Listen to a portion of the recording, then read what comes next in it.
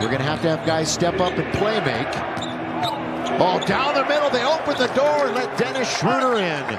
Doesn't take much of an open door for Dennis to get into the paint. And it's going to be Kuzma playing a little keep away. Schroeder at quickness once again, getting to the cup and scoring.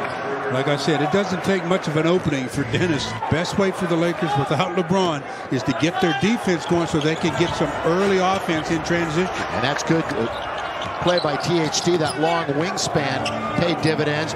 And Schroeder once again. And McKinney both went to the same guy and left the open man for the layup. Chris Paul has four assists. The bounce to Trez throws it down from the Caruso.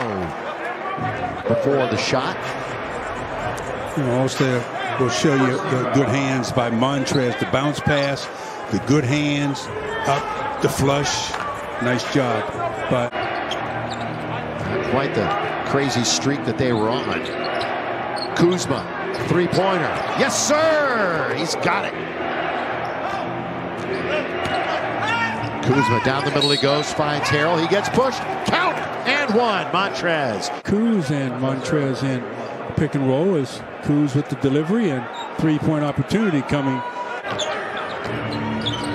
Kyle Kuzma in the attacking zone. Good feed under to Harrell.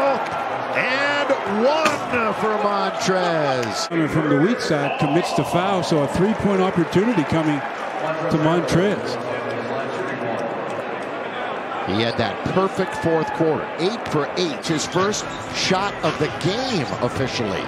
At the other end, Booker blocked by THT. Get it out of here. They keep it in play. Defense, offense, counted and one. Between him and THT, and THT with those long arms and jumping ability is able to uh, get a piece of it. That leads to the Lakers out in transition.